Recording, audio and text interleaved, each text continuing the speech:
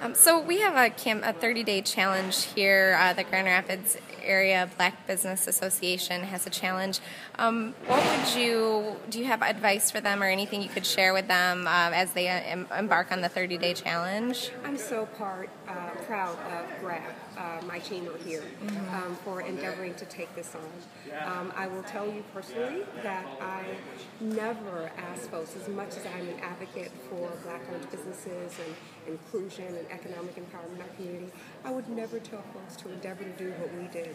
Um, it was very painful, um, quite impossible to take on, and it was a huge sacrifice for the family.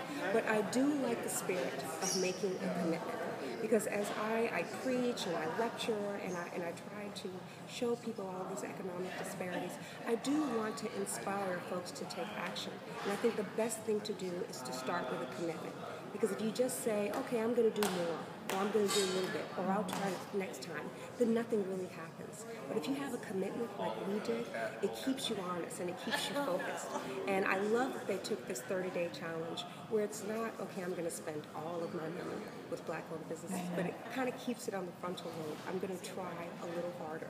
And what I love about the 30 days is what I teach everyone is once you get started and, and you find, you know, one great gem that you didn't know existed, or you learn of a business that's uh, employing maybe an ex-felon or uh, helping um, uh, provide role models in a place that desperately needs it. When you see and feel the impact of your spending, of your commitment, you want to do more.